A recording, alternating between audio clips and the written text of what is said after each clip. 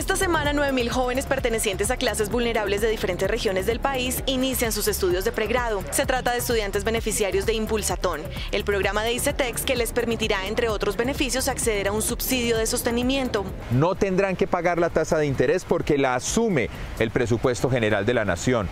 También podrán acceder a un subsidio de sostenimiento durante el desarrollo de su plan de estudios y tendrán la posibilidad de una condonación parcial. El subsidio es de 904.770 pesos por semestre, que se incrementará anualmente según el IPC. Los adjudicatarios fueron jóvenes priorizados del CISBEN en un 34,2%, aspirantes con discapacidad en 26,5%, desplazados en 12,8%, alumnos reconocidos como víctimas 11,2%, indígenas 11%, y los miembros de Red Unidos 4,2%.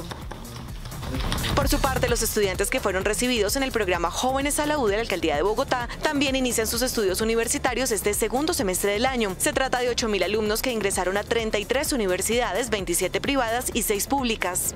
Estos jóvenes cuentan con una suma de sostenimiento semestral, equivalente a un salario mínimo que se les suministrará a lo largo de cada semestre de sus carreras, además de que la Administración Distrital se compromete a pagar el 100% de la matrícula o valor de referencia.